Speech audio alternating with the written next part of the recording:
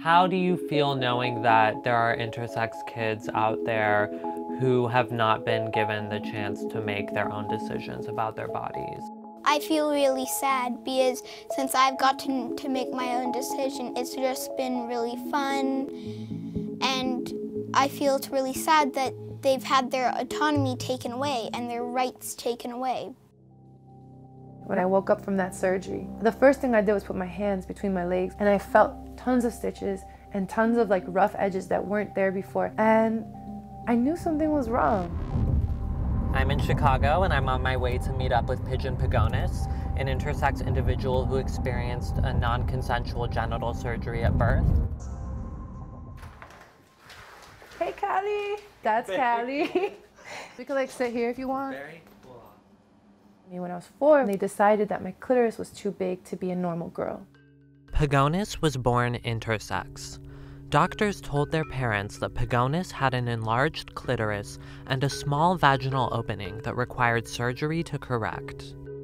Eventually, doctors performed various surgeries on Pagonis with the intent of creating the appearance of more typical female genitalia, but there was no actual medical need for these procedures.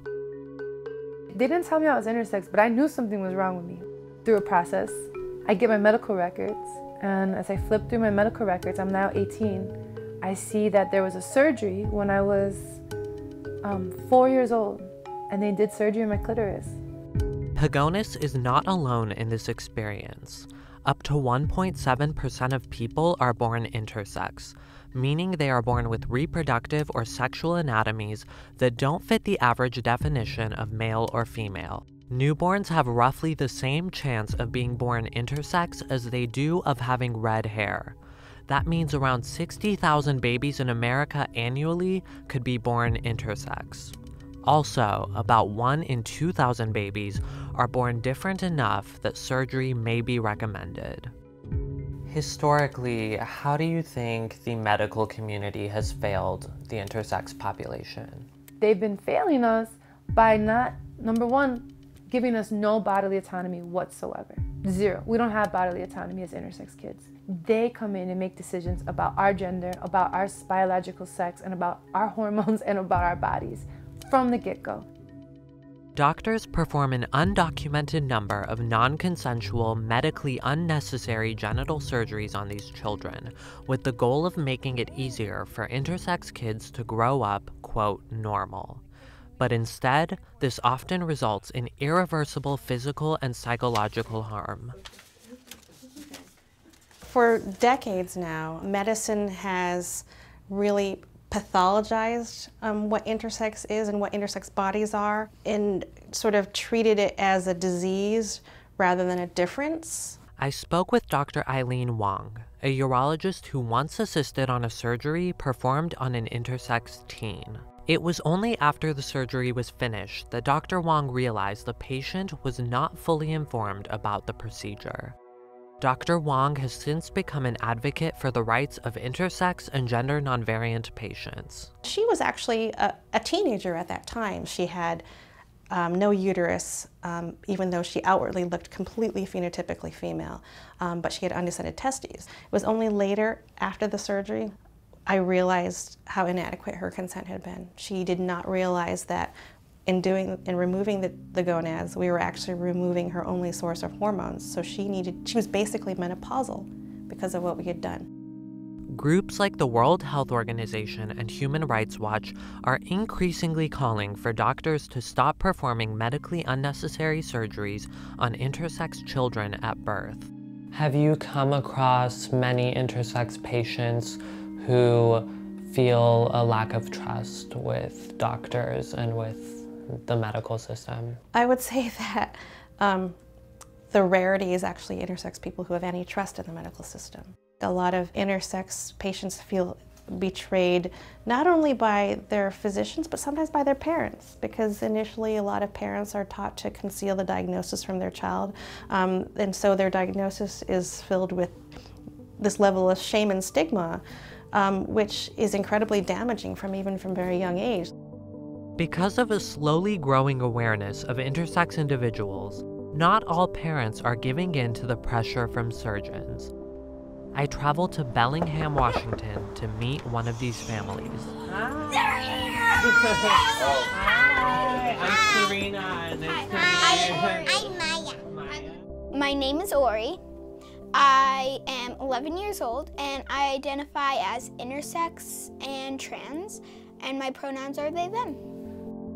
Ori was born intersex. Doctors advised their parents, Christina and Josh, to consent to genital surgeries and raise Ori as a girl. Instead, Ori's parents decided against surgery and have allowed Ori to pave their own way. My name was Oriana and I identified as she, her. And then at the end of first grade, I said, Mom, I feel like there something went wrong in your tummy. I feel like a bo- boy. And so then I changed my name from Oriana to Alex. My pronouns were he, his, and I lived as a boy. But then we went to Phoenix, Arizona for an intersex conference, and I met and I met so much great intersex people. So then I felt like non-binary was more right for me. We were definitely advised that surgery was the best option. Ori has testes in their lower abdomen, and they wanted to remove those and do the surgeries um, necessary to solidify a female gender assignment. Um, but luckily, we were able to research and go in very well informed. Um, and so I was asking them questions like, you know, what percentage of certainty do you have that my child will feel female? And I think their answer was like 65 to 75%. And I was like, yeah, that's not good enough for me. You, you have to show me. Um, we go outside, as you tell our house is green. This is actually like the fourth greenhouse we lived in. Um, look at something the sticker every is so cute. Maya Thank you. stickers. I love it. I feel like a butterfly represents like uniqueness, individuality. Yeah.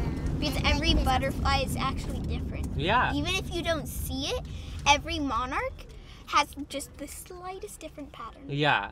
Actually, for a while, it's an interesting part of our story. When they were in Canada and transition, we just had them go as trans. We didn't Yeah. want the whole school to know about their intersex diagnosis. Ori didn't, or intersex variation.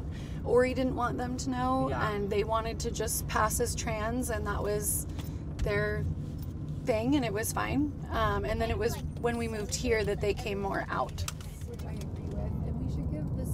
We're bringing it whole group. Um, this is Serena over here. Everyone. Say. Nice to meet you too. This is Tarek over here with the camera that we're not really looking at. We're just carrying on as usual. And today we're going to be connecting about the texts that we know and love. And we talk about this idea of kind of traditional experiences versus atypical or untraditional experiences. Um, being a homeschool community is that you and your families have decided "Hmm, maybe the untraditional is more authentic and is more right. How do you feel knowing that there are intersex kids out there who have not been given the chance to make their own decisions about their bodies? I feel really sad because since I've gotten to make my own decision, it's just been really fun. And I feel it's really sad that they've had their autonomy taken away and their rights taken away. In August of this year, California became the first state to condemn unnecessary surgeries performed on intersex kids, a historic acknowledgement for the intersex community. But even with opposition from health and human rights organizations, several pediatric urologists across the country continue to perform such procedures. I think that a lot of people are taken in by sort of very idealized uh, vision of what they can do as doctors. You know, there's always a little bit of God complex in, in any surgeon because we like to think that we're fixing people. We like to, to think that we have a higher purpose and that um, we're doing things for the good of other people. But um, it's also extremely hard to de-intellectualize things I have a burning desire to see the end of intersex surgeries happening in my lifetime. So that's another reason that gets me going every day and gets me awake. Um, but it's hard. It's hard sometimes to believe that we will win. I say we will win. I know we will win, but it's hard to to believe that sometimes. My message to intersex youth is to is there's always going to be a place for them and they should be themselves on the inside, but sometimes it's not always safe to come out as intersex. But then somewhere in the world there is a place for them.